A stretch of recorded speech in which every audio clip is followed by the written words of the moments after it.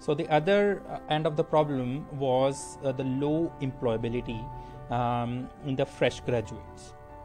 So uh, the, the, scale of the problem is so large that we figure out that uh, out of the 1.5 million uh, engineering graduates graduating each in, in India entering the uh, workforce, entering the job market, uh, 1.45 million approximately are from tier 2 and tier 3 institutions. And the number of these engineering institutions in india is uh, 6600 to be precise.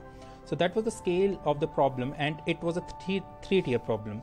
Uh, in terms of academia in terms of colleges or universities what we are teaching what we are delivering to the industry uh, or to the candidate to the students is a slight um, means there is a gap between what the industry demands and what uh, the academy is teaching.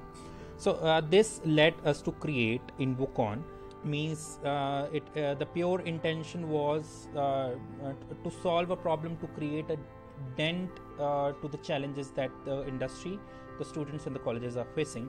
And it has been around two and a half years that we have been working on our venture and um, uh, feels great that uh, uh, we, we, are adding some value to the entire education ecosystem and to the startup ecosystem as well.